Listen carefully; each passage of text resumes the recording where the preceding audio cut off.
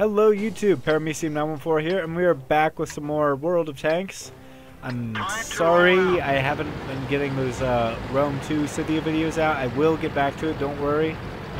Um, but I've been having a whole bunch of fun playing World of Tanks, and that's kind of what's been occupying my sparse free time lately. So, um, yeah, I'm here in my Churchill 1 tank. I'm here with Minty Fresh again. He's in the KV-1. He's right next to me. And uh, we're just going, we're, I think the map is called um, the North, or no, the Mountain Pass or something. Something like that. And uh, we're just going up the north. Um, we're both heavy tanks, tier 5 heavy tanks, so we're a little bit on the slow side, but we make up for it in armor.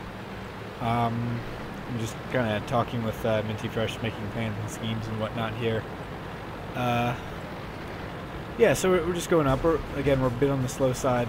Um, I really like the Churchill one. Um, it's not my favorite tank, but I really do enjoy playing it. Um, I think it looks cool. Like I mostly got the tank because it looks cool. I mean, um, it's a good. I got it because it's a good tank too. And when I was would go up against them in other tanks, I would always hate to because the Churchill was just so hard to um, kill. But um, so I went ahead and got myself one. And uh, I mean, they're a little bit easy to outflank, and they get detracked pretty easily. But um, they have good armor, and the QF gun they have on it's really good. It's got some good damage on it, good penetration. It reloads pretty darn fast, which I really like. Um, it's just a good all-around tank. It's not a perfect tank, but it's I, I really enjoy playing it, um, especially when it goes my way. Which a lot of times it doesn't, especially when you get ranked up against uh, tier 6 tanks. But, um, yeah, so I can't really get a shot there. Keep moving up. Keep moving up. Kind of letting Minty Fresh uh, stay ahead in his KV1 because, I mean, it has the better armor. Like, I, I should probably get around to getting myself a KV1 at some point. I I really need should have one of those. I haven't already because, I mean, they're kind of OP. Like, I mean, I'm sure if I picked it up, it wouldn't be that bad. But, eh, I don't know. So I get really lucky here, and I uh, set the guy's engine on fire and basically just kill him with one hit. I, I do manage to get two shots off, and I'm not sure which whether the fire or the last shot killed him, but I, I do get a nice kill there, so that's pretty nice. So I'm just moving up. And yeah. Um, so just keep moving up. And so yeah, so uh, today it's time for today's uh, microbiology uh, terminology discussion. Today we're going to be discussing the cell membrane, uh, specifically the difference between an archaea cell membrane and a uh, eukarya or eubacteria cell membrane. Um, if you remember from uh, whatever biology class you took, or if you don't know, um, cell membranes are composed of two layers of um, of lipids. There's these um, diglycerides, I think they're called.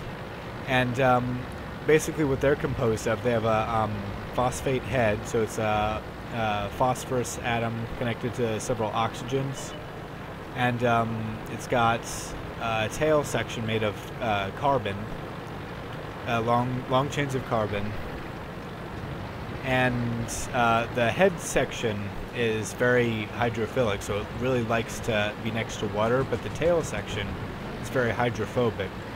And the result of that is it will sometimes form itself themselves into monolayers, or even um, in the case of uh, the cell membrane, uh, uh, bilayers.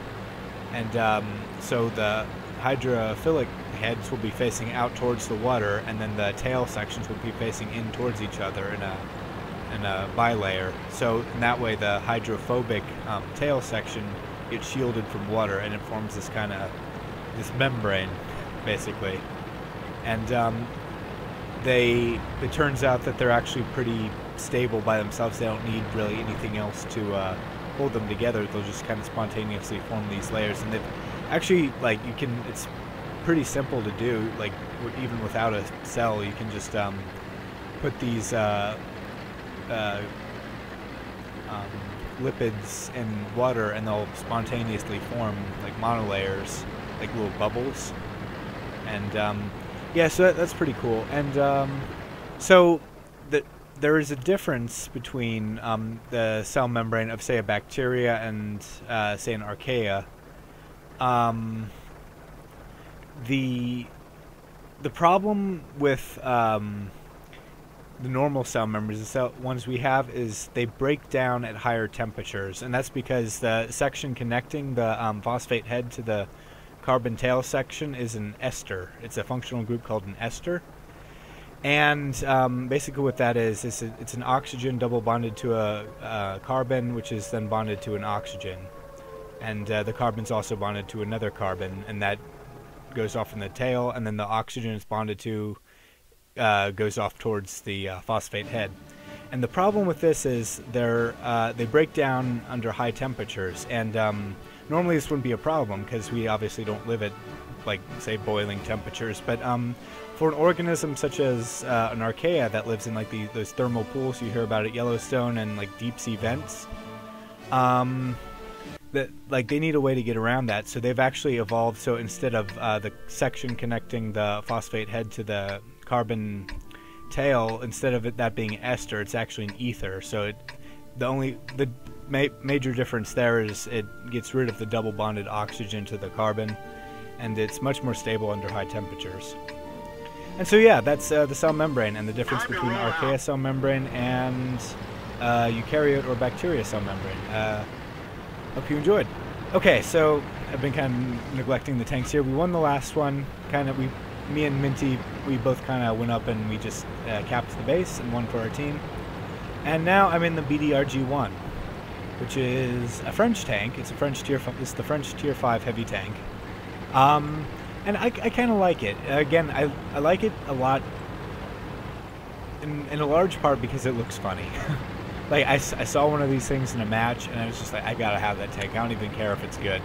And as to whether or not it's actually good, it's okay. It's um, its armor. It's it's pretty fast for a tier five heavy tank, which is nice. Its armor is pretty bad. I mean, it's yeah, it's it's pretty bad armor. Um, it takes a while to get to the top gun, but once you do, it's it's a decent top gun. It's got really great penetration. It's got a slow load time. It's got really good damage, and it's got pretty bad range. Now, it, that actually kind of makes the tank a little bit frustrating to play because on the one hand it's a heavy tank with like not great armor but with this great gun but the gun's only short range. So I get hit here. Fortunately only my rangefinder is destroyed. And see I can't even hit that guy from there. It it aims really slowly too. So even on top of it having poor accuracy it aims really slowly too so but um because it's it's a really a, it's a close range gun on kind of a long range light heavy tank. Uh, like I don't know if that makes sense, but you need to be close to do anything, and if you're close enough, then your armor is not going to really save you like it needs to. So, I guess it's kind of like a close range sniper, but I mean, really, like the only the best use I can find for it is like in city battles when you're popping up like behind buildings and you can quickly retreat behind cover. But an open map like this, it's not it's not all that great. Like sometimes you can do something with it, but um, its its uses are very specialized, and uh, it's not always the most useful thing. But I mean, I still like it. It's it's fast. It's got a powerful gun, even if it is not very accurate, and um, I, I think it's a fun tank to play. So, yeah, here I am. Me and Minty are just kind of, we're not going up to the base to try to cap it, but we're trying to kill anyone who's going to. And I do hit that guy, get him with one shot. I mean, Minty damaged him for me, but... So we're both, I, am trying to be a little bit cautious here, because I know that if I move up too far, I, I'll, I'll just die, basically. And uh, Minty's getting hit by some guy, but he's in the KV-1. I think he even remarked, yeah, he remarks that that tickles. yeah, the KV-1's pretty tough. The BDRG-1 is not as tough. Um, yeah, so um, the problem here, if you can see on the map, there most of the enemy team is going the top right corner, and uh, we just don't have enough tanks up there. And I think about going up there. I try to provide some fire support, but again, my gun's not that accurate. But um, I'm a little bit slow, and I'm again I'm worried that someone will see me and take a few pot shots at me and kill me. So I decided it's best to just stay here and hope my team can deal with it, which unfortunately they didn't do very well. And, uh, again, I'm trying to spot for them, trying to see if we can give a few long distance shots, but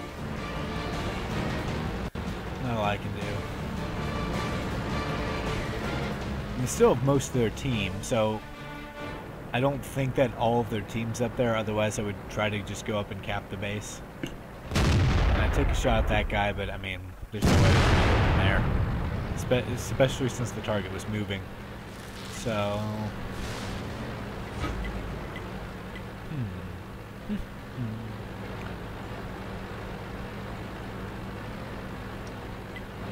Tell my team to attack because they're for some reason they're just holding up back there. I don't understand that. I mean, some of them are artillery, which I think we have three artillery pieces, but um, yeah, I guess they're artillery, so that, that's why. I think we had too much artillery in this map. You, you really, I, I don't think you really want that much artillery, like maybe two at the most. Because, I mean, they can, they can snipe guys from a long distance and that's great. But, I mean, in close combat they're like completely worthless. And I do get that guy, that's another kill. So this, this was a pretty good match for me, even though I do think I end up losing. Uh, and Minty's still alive too, that's always a plus. Um, I think he outlives me in this one, actually. and so I'm going up. I'm trying to get over this ridge so I can go help protect the artillery. Um, but my fears come true, and I start getting hit from out of nowhere. Tracks, destroyed. Eh, not much I could have done there. So Minty's here. It's all you, buddy. And give me a second now. Right as I said that, he blows up. So, yeah, that's that game. So it was a good game for me. I got two kills, but still ended up losing. The, the thing about this game is sometimes your team will fail you, and there's not a lot you can do about it. Like, you can... It's really hard to, like...